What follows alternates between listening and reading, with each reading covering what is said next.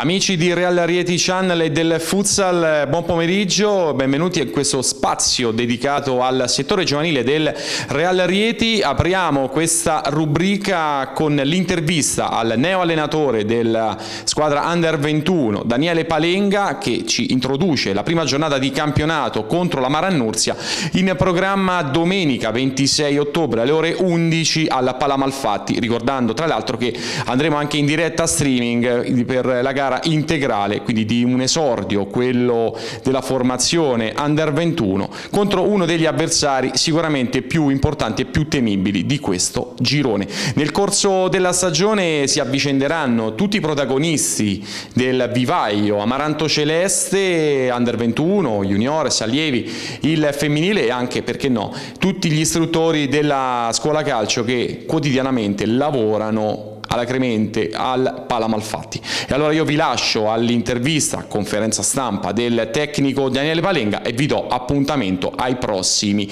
incontri, sempre qui su Real Rieti Channel TV.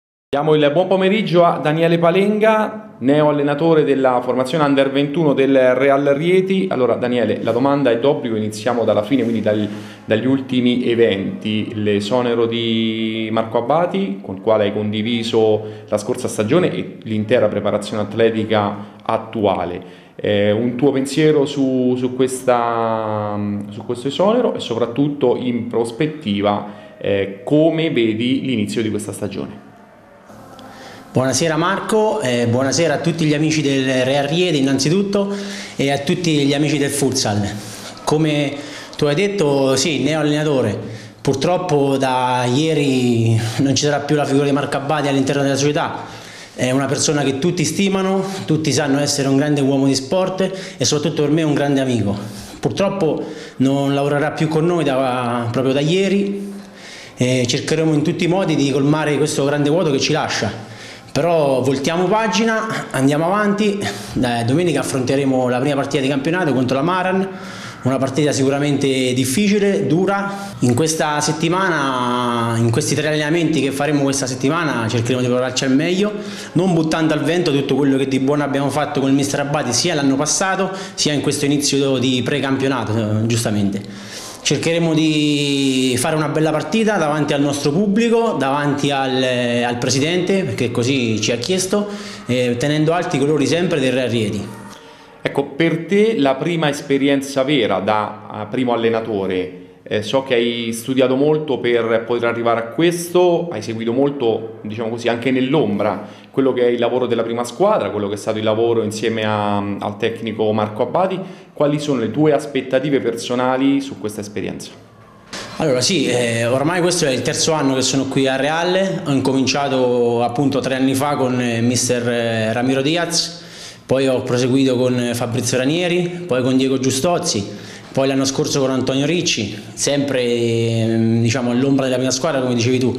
Eh, sono stati momenti di crescita. Dopo diciamo, questi tre anni vissuti in eh, allenatore in seconda, se così si può dire, oppure collaboratore tecnico, chiamiamolo come vogliamo, eh, mi è stato affidato il compito da, da primo allenatore di questa Under 21 io studio molto, ho studiato, studierò sicuramente, lavorerò in sintonia con il mister Patriarca perché anche lui ci darà una mano sicuramente e cercheremo di fare il meglio per, per i nostri ragazzi e per la società. Hai anticipato tu questa, questo esordio domenica in casa, una, un avversario tosto, un avversario che ha tradizione futsal e quindi sicuramente un avvio eh, che non, non, non, sarà sicuramente un, eh, eh così, un, um, un impegno materasso, però eh, diciamo, la squadra rispetto allo scorso anno cosa ha perso e cosa ha guadagnato da un punto di vista proprio tecnico?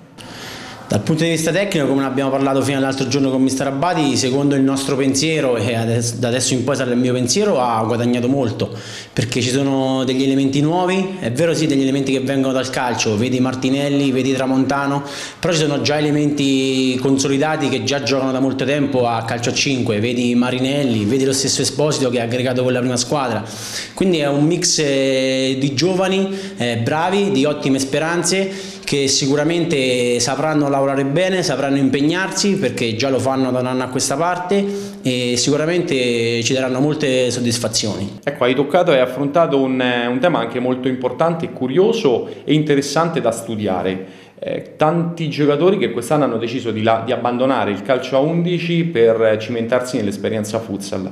Hai, ne hai detti alcuni tu, ne aggiungo uno io, Luca Salvi, che fino allo scorso anno giocava nella prima squadra di eccellenza del, dell'FC Rieti. Com'è stato il loro impatto con questa nuova disciplina e soprattutto come si sono integrati nel gruppo?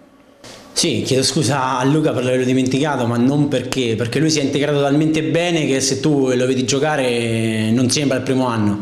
Gli altri si stanno integrando, chi più e chi meno, però sono tutti vogliosi, hanno tutti voglia di imparare e di far crescere questo movimento, quello del calcio 5 che non, non sono certo io a dirlo che sta avendo un enorme successo dentro e fuori i palazzetti.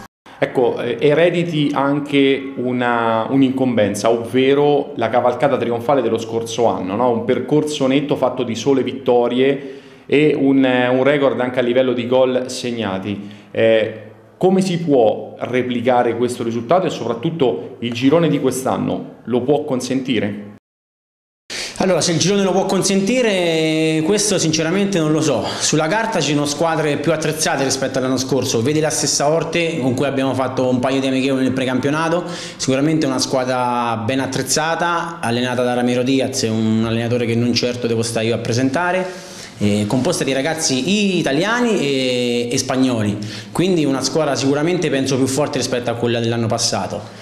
Anche la Maran è un ottimo organico, eh, anche loro hanno degli stranieri quindi ci sono squadre molto attrezzate, sicuramente ripetere l'impresa dell'anno passato, ossia quella fatta di sole vittorie e record di gol segnati, sarà molto difficile, ma il nostro obiettivo è sempre superarsi, quindi l'anno scorso le abbiamo vinte tutte, abbiamo fatto il maggior numero di gol, quest'anno l'obiettivo è rivincerle tutte e magari superare il numero di gol fatti per poi accedere ai playoff e cercare di fare meglio rispetto all'anno scorso, perché secondo me le potenzialità ci sono, ci sono come ripeto ragazzi bravi e penso che con la voglia di lavorare, la voglia di, di divertirsi soprattutto potremo arrivare lontano. Ecco, ci sono elementi che potrebbero addirittura scendere dalla prima squadra in caso di necessità. Ne cito uno su tutti, Caio Junior, che è tra l'altro uno che in prima squadra ha già dimostrato di, poter, di avere i numeri importanti per poter far bene.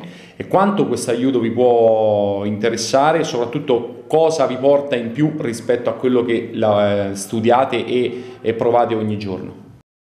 L'apporto di Caio Junior sicuramente sarà un apporto fondamentale, lui lavora da anni con tecnici preparatissimi, sempre nel giro della Serie A, è un giocatore brasiliano, quindi un giocatore non nuovo a questo sport, dovrà essere bravo lui ma dovremo essere bravi anche noi a farlo sentire parte del gruppo quando verrà deciso di, di farlo venire a darci una mano. Tra l'altro c'è già un, un, elemento in squadra, ovvero Johnson, il portiere, che ha già esordito in Serie A lo scorso anno con il Chaos Futsal, quindi questo è già un valore aggiunto probabilmente tra i pali, dove eh, c'era, diciamo così, era rimasto un, un vuoto dopo l'uscita di scena dei, dei portieri dello scorso anno.